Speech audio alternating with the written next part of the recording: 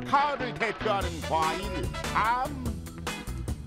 엉뚱군의 집 앞 감나무에도 감이 탐스럽게 익어가는 거지요. 그나저나 이 떫은 감은 언제쯤 먹을 수 있을지 마음만 앞서가는데요. 감을 하루빨리 익게 하는 방법은 없을까요? 땡감의 떫은 맛을 사라지게 하는 일명 탈sab을 직접 해보기로 했습니다.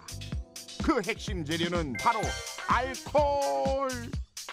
감을 보관할 용기에 비닐을 깔고 땡감에 소주를 묻혀주세요. 감의 꼭지나 몸통 어디든 상관없습니다요.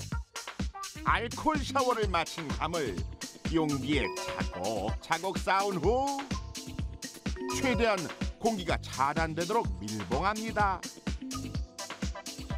온도에 의한 변동은 있지만 보통 섭씨 20도에서 일주일 정도 발효를 거치면 달콤한 홍시가 된다고 하는데요. 이러한 탈sab에는 어떠한 화학작용이 숨어 있을까요? 감이 떫은 이유는 감 속에 있는 디오스프린이라고 하는 그런 탄닌 성분 일종 때문인데요. 이러한 탄닌 성분은 물에 처음에는 수용성입니다. 감 속에다가 알코올 성분을 주입하거나 혹은 알코올 성분이 만들어져서 예, 감의 어떤 성분하고 닿게 되면은 그 디오스프린 성분이 중합체를 형성해서 물의 불용성 성질로 바뀌게 됩니다. 즉 물에 녹지 아니하여서 원래의 떫은 맛을 느끼게 하는 기작을 잃게 되는 것이죠. 그래서 떫은 맛이 사라지게 됩니다.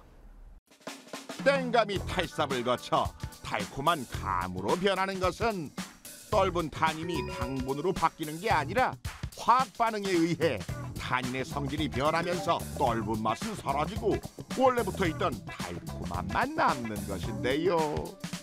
떫은 맛은 미각이 아니라 혀의 표면이 수축하면서 느껴지는 촉각의 일종으로서 탄닌의 변화에 의해 더 이상 떫은 감각을 느끼지 않는 것이랍니다.